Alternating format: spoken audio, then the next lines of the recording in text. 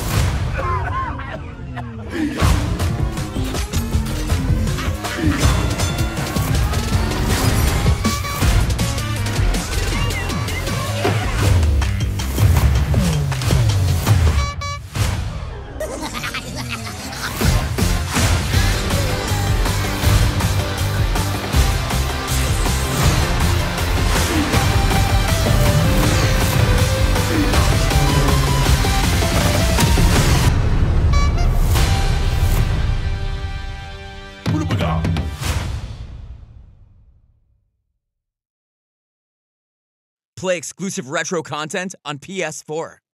PlayStation